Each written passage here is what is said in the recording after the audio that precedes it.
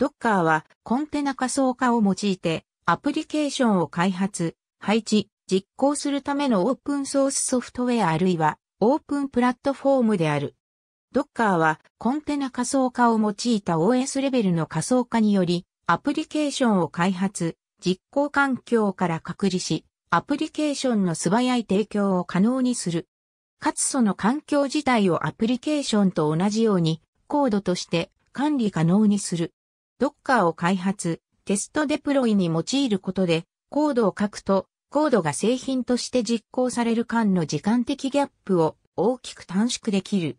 アプリケーションソフトウェアは、開発環境でコーディングされ、テスト環境で動作確認され、ステージング環境にデプロイされ、本番環境でサービス提供を行い、開発環境でデバッグされる。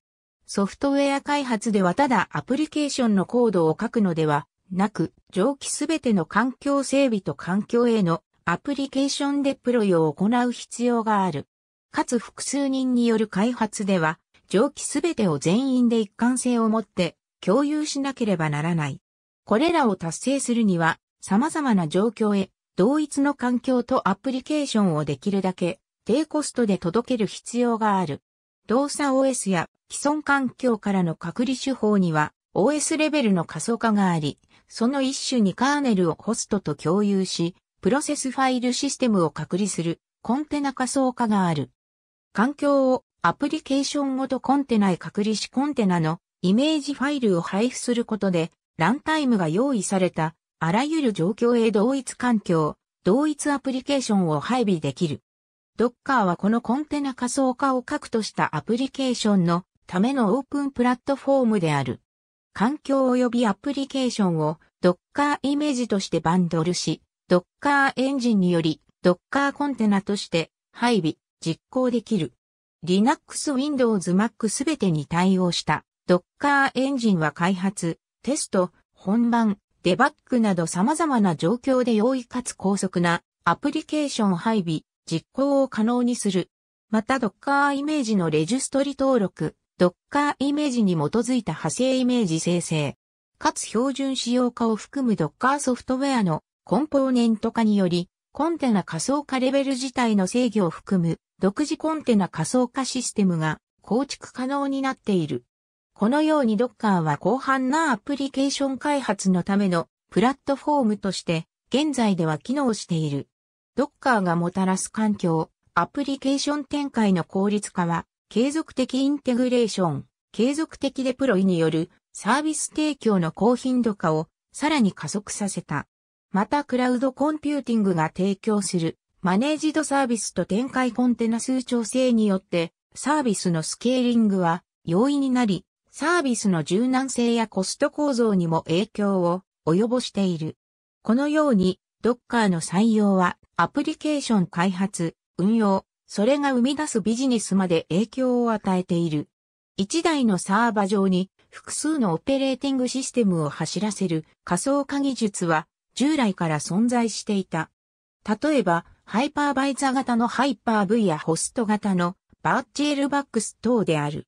仮想化の本来の目的は、一台のハードウェア内にできる限り多くのサーバー用アプリケーションを実行することであるが、上記種類の仮想化では、仮想環境ごとに OS を丸ごとインストールする必要があり、アプリケーションに必要のないサービスやファイルまで伴っていた。これは資源の浪費であった。アプリケーションとは直接関係のないライブラリーやデータは仮想環境内で共有することが望ましかった。これを実現するのがコンテナ型の仮想化である。実際に Docker はホスト OS のカーネルを共有する。それぞれの仮想環境は Docker コンテナと呼ばれ、一台のサーバ上でそれぞれが隔離されることで複数のインスタンスが動作しているように見える。一般にアプリケーションを開発もしくは動作させるまでには、設定ファイルの編集や必要なライブラリーのインストール等、本来の目的には関係のない煩雑な作業が必要である。Docker はアプリケーションとライブラリーを同一のコンテナ内に固めてしまう。一度固めたコンテナは軽量であるため移動が容易であり、比較的どの環境でも素早く目的のアプリケーションを動作させることが可能である。これを Docker 社はビルド、シップ、Docker デスクトップによりコンテナは Windows、Max のどちらでも機能し過半性が高い。複雑なシステムでは一度設定を間違えると、その影響範囲の特定と復旧に時間がかかる可能性がある。Docker では、このような救いようのないシステムは瞬時に削除できる。また、イメージを段階的にバックアップしてあれば、設定間違いの前へ戻ることも容易である。これらの際に、蒸気資源の効率の良さと構築の容易さが効果を発揮する。Docker コンテナはアプリケーション開発環境に利用できる。コンテナは外部と隔離されている。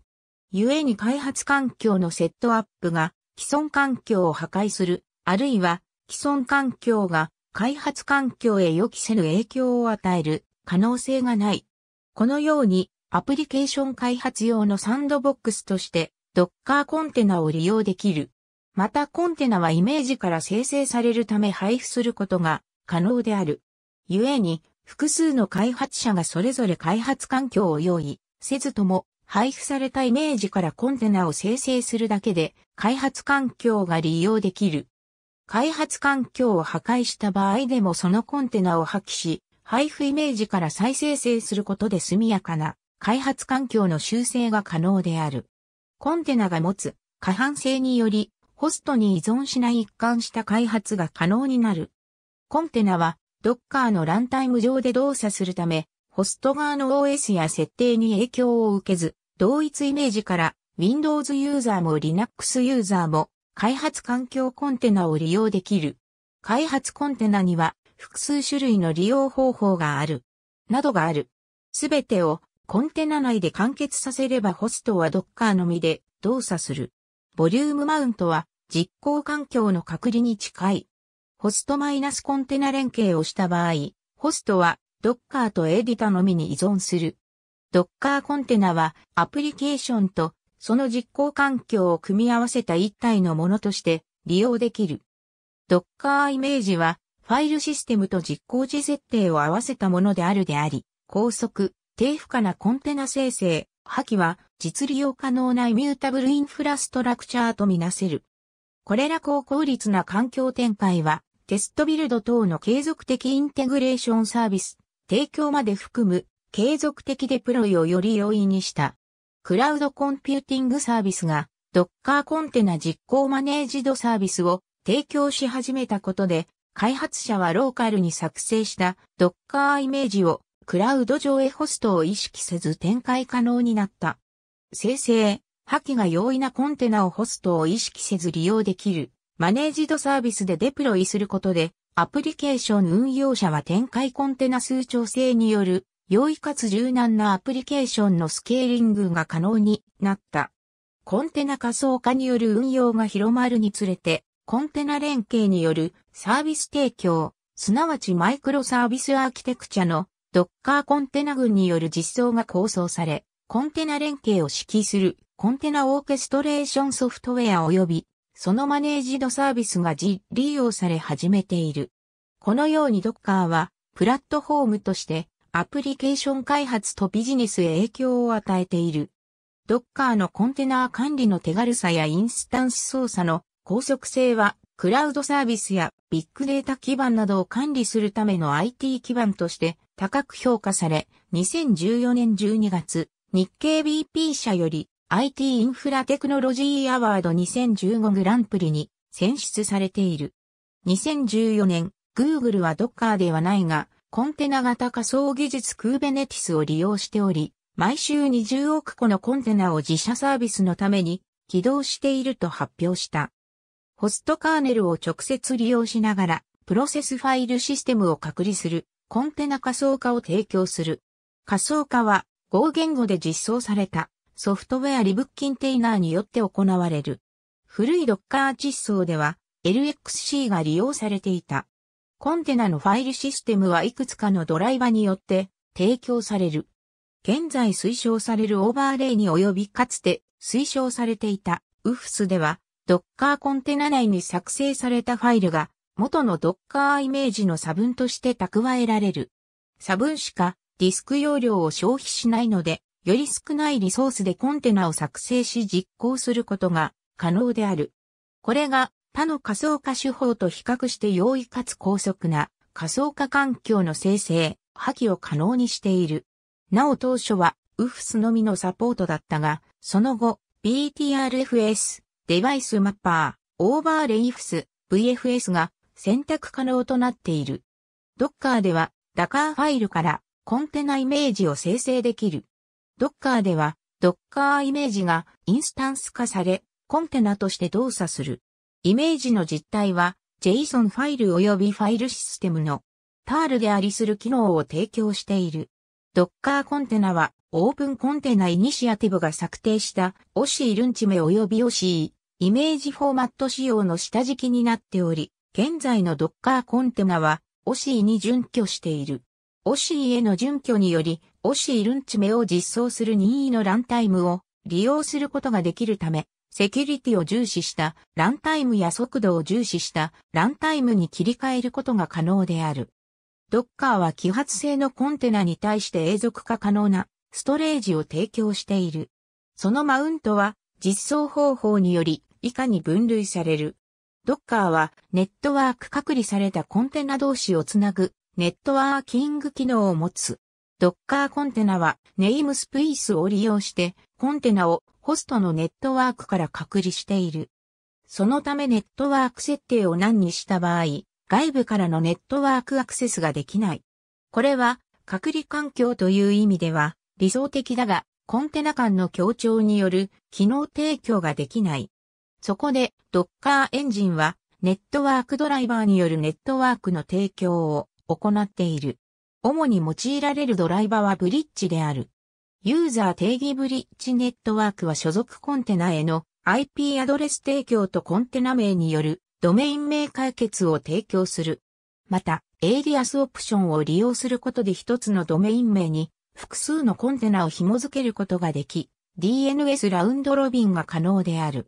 Docker はコンポーズによる複数コンテナの実行、連携を提供する。Docker、コンポーズ、YML でコンテナセットネットワークを定義することで、単一のホストマシン上にコンテナ群をデプロイできる。さらに Docker スワームを用いることで、マルチホスト環境へのデプロイも可能になる。Docker はコンテナで発生したデータログ、サーバログを処理する機能を提供している。Docker でアモンはデフォルトでコンテナのストダウト、ストデールを補足しており、Docker ログズコマンドでログを表示できる。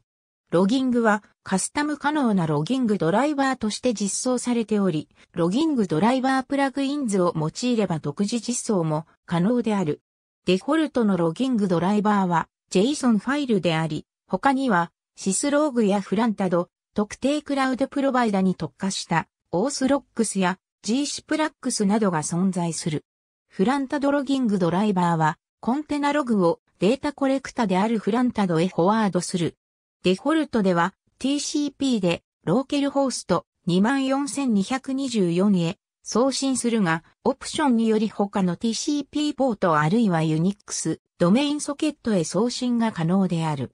フランタドデーモンはホストマシン上のプロセス、あるいはポートマッピングを行ったコンテナとして機能させる。